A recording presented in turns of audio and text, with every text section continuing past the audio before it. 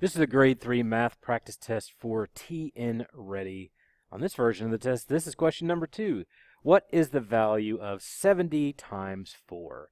And I can answer my answer in the space provided. So that's what I'll end up doing eventually. Now, the thing about having a number here that's so small is if for some reason you don't remember your multiplication facts for 7 times 4, you can actually just add 74 times. So if I wanted to do this,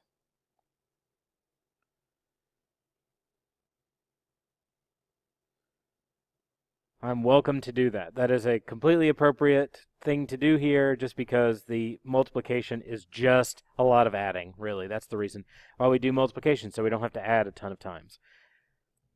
With that being said, learning your multiplication tables is a huge deal, and I'm telling you this as someone who taught at high school level for many years, often with students who did not have very strong skills in their multiplication facts because they didn't want to learn them or it was difficult for them.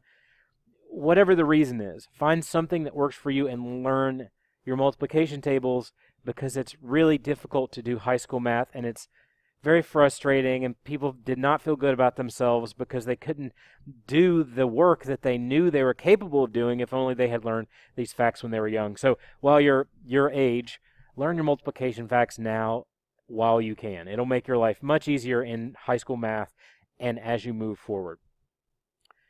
So if I'm following the algorithm, I need to multiply the ones placed together first. 0 times 4 is, of course, nothing. And then I just need to multiply the tens placed times 4. 7 times 4. And again, if you wanted to add, that's fine. 7 plus 7 is 14. Plus 7 more is 21. Plus 7 more is 28. So I put 28 here. And I have 280. So really, as I work this out, I have 0 times 4 going this way, and then I have 7 times 4 going in the 10 spot.